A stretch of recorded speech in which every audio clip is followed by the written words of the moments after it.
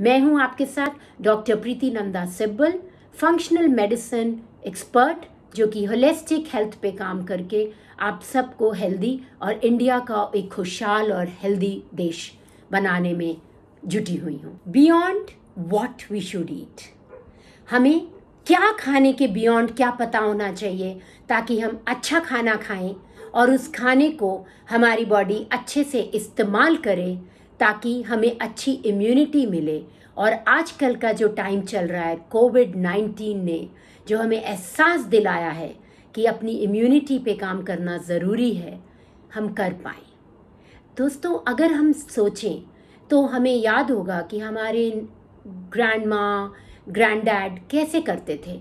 खाने से पहले हाथ जोड़ते थे, आँखें बंद करके प्रे करते थे। फिर थोड़ा सा पानी ग्लास के आसपास, अपनी प्लेट के आसपास छिड़क कर पूरी फैमिली अच्छे से बैठकर खाना खाती थी। कभी सोचा है क्यों?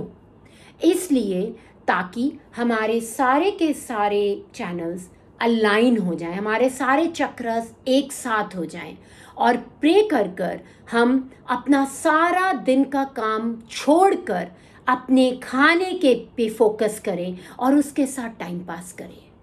आजकल के मॉडर्न टाइम में, मैं इसे कहती हूँ फ़ूड मेडिटेशन मेडिटेशन तो आपने सुना ही होगा दोस्तों, पर फ़ूड मेडिटेशन का जो रोल है हमारी लाइफ में, वो हम अंदाज़ा भी नहीं लगा सकते हैं।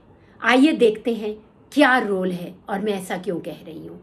फ़ूड मेडिटेशन में जब हम अपने सारे सेंसेस को यूज़ करते हैं, हम उस खाने को अच्छे से हजम कर पाते हैं, चबा पाते हैं एसिमुलेट कर पाते हैं, उनसे न्यूट्रिशन अच्छे से ले पाते हैं और उनमें से जो टॉक्सिन्स या ख़राब चीज़ें हैं, उनको अच्छे से एक्सक्रीट कर पाते हैं।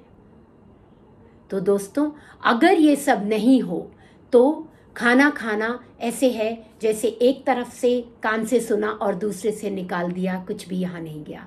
क्या आप ऐसा करना चाहते हैं? नहीं।